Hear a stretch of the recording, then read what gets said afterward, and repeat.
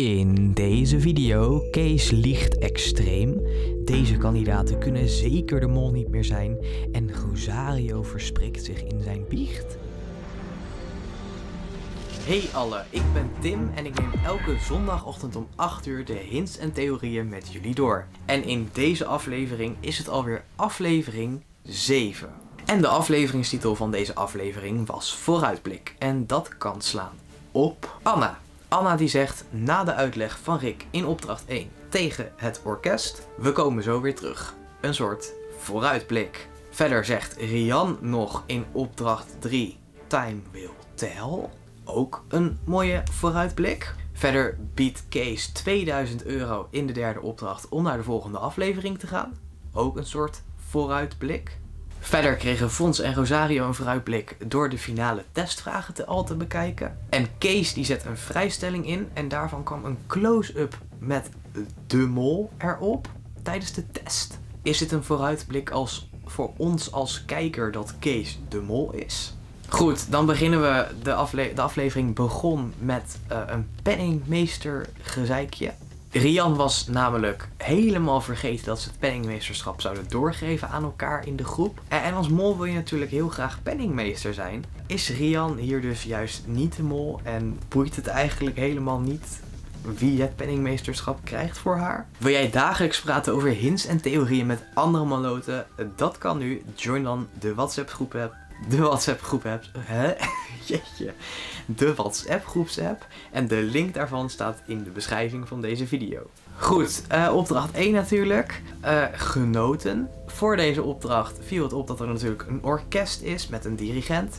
En dat kan heel makkelijk leiden naar Maestro. En dat kan dan weer slaan op Rosario die mee heeft gedaan aan Maestro. Goed, uh, deze opdracht was natuurlijk een hele gave. En vooral ook omdat de leader helemaal centraal stond, zeg maar de muziek daarvan. Best wel tof weergegeven allemaal. Uh, Anna bepaalt in deze opdracht vooral een beetje de rollen. Wie gaat welke opdracht mee beginnen. Beetje een soort sleutelpositie. Verder zit Kees aan de notenbalk. En bij de waarzegsterbol zat er een hint in.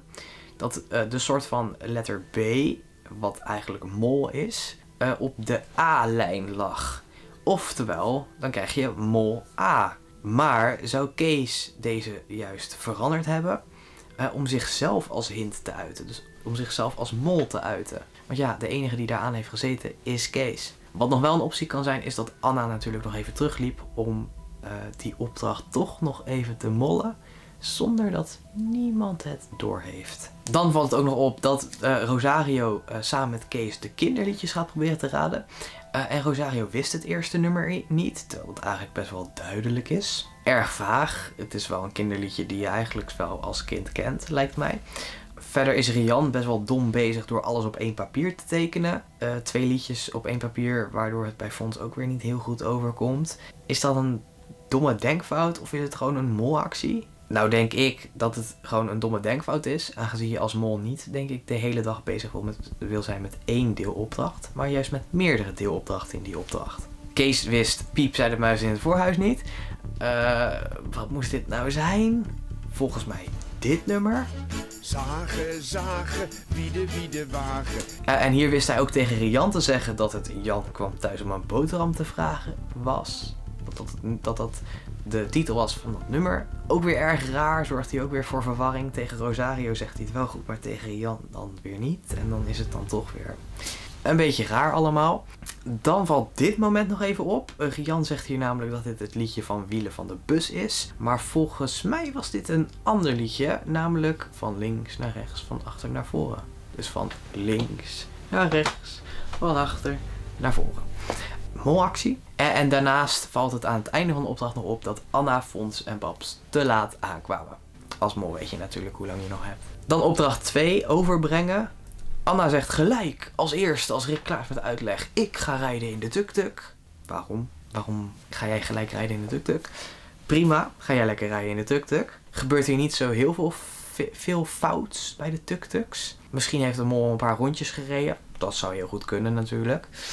Wat wel opvalt is dat Fons natuurlijk zijn tuk-tuk, die loopt helemaal vast. Uh, die doet het een paar keer helemaal niet. Gaat dus echt heel lekker, echt lekker soepel gaat het daar.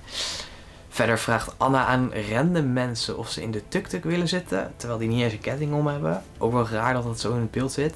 Rian was net te laat binnen. Misschien heeft ze een blokje omgereden. Dan viel het op bij Kees en Rosario dat ze een goed systeem hadden door uh, te sorteren, door de mensen te sorteren per baan en zo.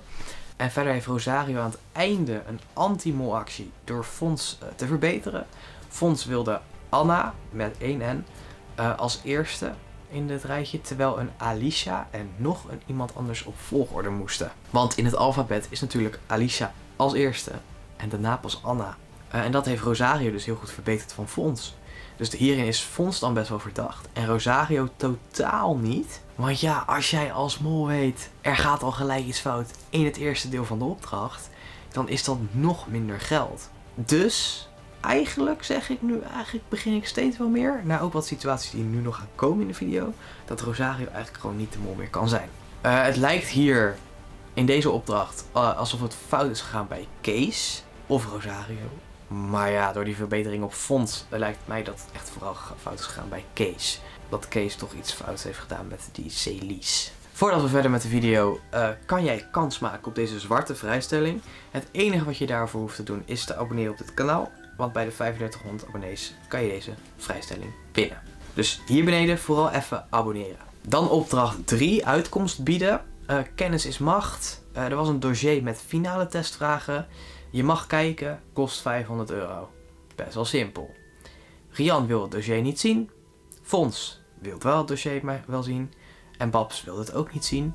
Uh, daarna kregen we een korte montage van Anna die zegt ik doe het niet. Rosario, dan wil ik ze bekijken. En Kees, ik wil het niet zien. De volgorde is aan het einde waarschijnlijk veranderd. Want je ziet de montage weer hele rare shots. Maar de mol wil, lijkt mij, waarschijnlijk als laatste. Dus kunnen Rian, Fons en Babs eigenlijk niet de mol meer zijn. Nou weten we dat Babs de mol niet is. Uh, en het lijkt mij heel logisch dat dan Rian en Fons ook niet de mol zijn. Waarom zou jij als mol in deze opdracht 500 euro uit de pot halen, terwijl je een veel groter bedrag uit de, pot kan halen? Zeker als je een van de laatste bent uh, in deze ronde, dan kan je al zien, goh, is er al 500 euro uit, dan kan ik er nog meer uitgooien. En dat is alleen maar beter natuurlijk. Dan zien we in ronde 2 dat Rian 550 heeft geboden, uh, Babs 1950, Anna 1500 en Kees 2000. Stel nou dat je in deze opdracht als allerlaatste bent in beide rondes, dan weet je in ronde 1, er is al twee keer 500 euro uitgegaan. Dus lekker, maar alsnog ga ik dan niet kijken, want dan kan ik er nog meer geld uitspelen. Dan in ronde 2 ben je ook als laatste. Stel nou je bent Anna, je ziet, goh, Kees heeft al 2000 euro geboden. Natuurlijk mega veel. Zeker als je weet dat er ook al 1000 euro uit is gegaan. En dan zie je dat Paps 1950 heeft, nou, en Rian 550. Dan ga je een beetje in de middenmoot zitten en doe je 1500 een typische molactie. En daardoor is er gewoon 3000 euro uit de pot gegaan in één opdracht. Want ja, als jij als mol niet hoeft te mollen, waarom zou je dan gaan mollen als anderen al gaan mollen? Dat heeft natuurlijk nul kans. Andere opties zijn dat Kees de mol is. Kees ziet in ronde 1, er is al 1000 euro uit. Gaan wij natuurlijk niet doen. Daar gaan wij meer van maken. Ik ga gewoon 2000 euro uit de pot gooien. Wat kan mij dat nou schelen? Ik ben waarschijnlijk toch al wel de meest verdachte kandidaat in Nederland. Maar ik ben ook alweer een wensmol van mensen. Dus weet je, boeien gewoon lekker die 2000 euro eruit gooien. Het valt ook op, in de Mol België was er een seizoen met Lennart. Uh, en Lennart de Mol die had 10.000 euro geboden voor een vrijstelling. Dat is er uiteindelijk uitgegaan. Hij had een vrijstelling als mol zijnde. Dus hoe gekker het ook is, het maakt niet uit. De mol kan echt iedereen zijn. Toen kwam de test en eliminatie. Uh, Anna zat op Fons, Rosario en Kees. Uh, en drukte op dat de mol waarschijnlijk in een blauwe tuk-tuk zat. Uit mijn hoofd was dat Fons. Um, Bab zat waarschijnlijk, waarschijnlijk op Rosario. Is tenminste wat ik denk. Um, vooral aan de, afle aan de aflevering te kijken. Uh, zat vooral op één persoon. Zat in een bondje met Rosario die ze heel erg verdacht vond. Ik denk dat Babs twee mollen had. Is ook te lezen in het uh, dagboek van de afvaller trouwens. En dat waren Fons en Rosario. En Babs is dan volledig op Rosario gegaan. Rian zit uh, vooral op Kees. Uh, Fons uh, die zat op de muziektermen opdracht en dat waren Anna en Babs aan het doen toevallig. Dus eigenlijk zit Fons hier op Anna. Kees weten we natuurlijk weer eens niet. Zal ook weer eens een keer niet dat we dat weten. Dat weten we waarschijnlijk pas volgende week ergens als we zien dat hij de mol is of zo. en dan Rosario, um, die zat op vier mensen. Vier mensen, want hij heeft twee met bondje, dus dan zijn dat er alweer twee minder. En hij heeft een bondje met Fons en Babs. Dus dan denk ik dat hij op Rian Anna en Kees zit. Of één van die twee, of één van die drie. Het zal. Wat valt hier dan in op? Uh, Babs zat dus volledig op Rosario. Um, en uiteindelijk geeft Babs ook het penningmeesterschap aan Rosario. Weet Babs dus 100% zeker dat Rosario niet de mol is? Doe daar je eigen conclusies mee. Uh, verder is Kees weer bezig. Hij raakt weer als eerste de afvaller aan. Uh, in dit geval Babs. Um, valt erg op. En ik zeg elke aflevering, we gaan er de volgende aflevering weer naar kijken. Uh, maar ik vind het nu wel echt een groot patroon worden. En neig ook steeds meer naar Kees als mol. Dan nog even iets heel anders raars. Ik zat op Instagram te scrollen en opeens zag ik voor de aflevering dat Rosario op zijn story de promo van de vorige aflevering heeft gepost op zijn Instagram story. Is die wel bij met de afleveringen? Wat is die allemaal aan het doen, die Rosario? Een beetje vage actie. Het lijkt mij hier ook nog meer op een kandidaat lijken. Dus ja, dit is een hele rare story van Rosario. Dan wil ik jullie nu weer bedanken voor het kijken naar deze video. Uh, abonneer zeker voor de 3500 abonnees en een kans op de zwarte vrijstelling. Mocht je wat gehad hebben aan deze hints en theorieën, like dan vooral ook de video hier beneden. En dan zie ik jullie hopelijk vrijdag weer met een extra hints en theorieën video. Laters!